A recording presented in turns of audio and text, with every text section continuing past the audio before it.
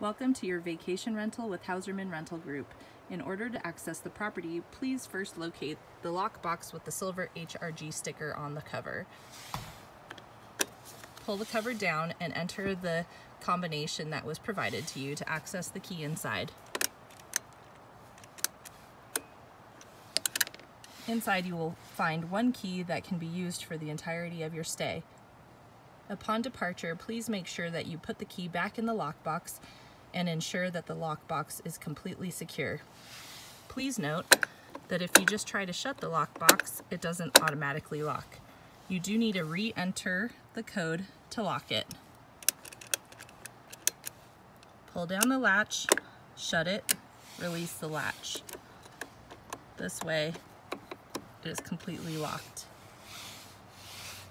If you enter the code and are not able to pull down the, the latch, please press the reset button at the center bottom of the keypad. You can then enter the code again and the latch should open. Thank you so much and we hope you enjoy your stay.